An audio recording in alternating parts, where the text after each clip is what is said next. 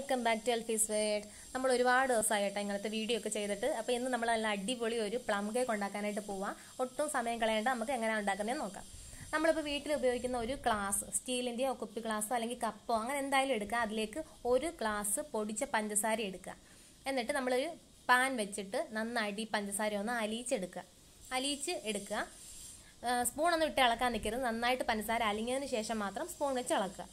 അതിനുശേഷം നമ്മൾ ഈ പഞ്ചസാര എടുത്ത അതേ ഗ്ലാസ്സിൽ ഒരു ഗ്ലാസ് വെള്ളം ഈ പഞ്ചസാര ലാനയിലോട്ട് ഒഴിച്ച് അത് കുറച്ച് കുറച്ചായിട്ട് ഒഴിക്കണം. ഒഴിച്ചിട്ട് അതും കൂടെ ഒന്ന് മിക്സ് ചെയ്യുക. അതിനുശേഷം നമ്മൾ എടുത്ത അതേ ഗ്ലാസ്സിൽ അര ഗ്ലാസ് സൺഫ്ലവർ ഓയിലും കൂടെ ഇതിനകത്തോട്ട് ചേർത്ത് ഇളക്കി കൊടുക്കുക.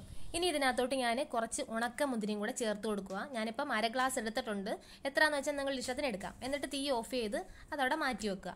ഇനി നമുക്ക് ഡ്രൈ ഇൻഗ്രീഡിയൻസ് എന്തൊക്കെയാണെന്ന് നോക്കാം. ഞാനിപ്പം ഇതേ ഗ്ലാസ്സിന് തന്നെ ഒന്നര ഗ്ലാസ് മൈദാമാവ് എടുത്തിട്ടുണ്ട്. ഒരു സ്പൂൺ ബേക്കിംഗ് പൗഡർ കാൽ സ്പൂൺ ബേക്കിംഗ് സോഡ പിന്നെ ഏലക്ക കറുകപ്പെട്ട ഗ്രാമ്പൂ ജാതിപത്രി ഇത് ഇത്രയും കൂടെ പൊടിച്ചത് ഒരു സ്പൂണ് പിന്നെ ആവശ്യത്തിന് ഉപ്പ് ഇത്രയും കൂടെ ചേർത്തിട്ട് നന്നായിട്ട് അരിച്ചെടുക്കുക. ഇനി നമുക്ക് ഒരു രണ്ട് മുട്ട വേണം. അത് നന്നായിട്ട് കലക്കി യോജിപ്പിച്ച് നമ്മൾ നേരത്തെ തയ്യാറാക്കി വെച്ച പഞ്ചസാര ലൈനിലോട്ട് ചേർത്ത് നന്നായിട്ട് ഇളക്കുക. ശ്രദ്ധിക്കേണ്ട കാര്യം ആ ലൈന് നന്നായിട്ട് തണുത്തതിന് ശേഷം മാത്രമേ അതിലോട്ട് മുട്ട ചേർക്കാവുള്ളൂ. എന്നിട്ട് അതിനകത്തോട്ട് അണ്ടിപ്പരിപ്പ് ചെറി ഡ്യൂട്ടി ഫ്രൂട്ടി ഈന്തപ്പഴം അങ്ങനെ നിങ്ങൾക്ക് ഇഷ്ടമുള്ള ഡ്രൈ ഫ്രൂട്ട്സ് എല്ലാം ചേർത്ത് നന്നായിട്ട് ഇളക്കിയിട്ട് ഇത് മറ്റൊരു ബൗളിനകത്തോട്ട് മാറ്റുക. ഇനി ഇതിലേക്ക് നമ്മൾ തയ്യാറാക്കി വെച്ചിരിക്കുന്ന ഡ്രൈ ഇൻഗ്രീഡിയൻസ് കുറച്ച് കുറച്ചായിട്ട് ചേർത്ത് നന്നായിട്ട് യോജിപ്പിച്ച് റെഡിയാക്കി എടുക്കുക. ദാ ഈ ഒരു പരുവത്തിൽ ഇരിക്കണം നമ്മുടെ കേക്കിന്റെ ബാറ്റർ. ഇനി ചെയ്യേണ്ട എന്താണെന്ന് ഞാൻ പറയണ്ടല്ലോ.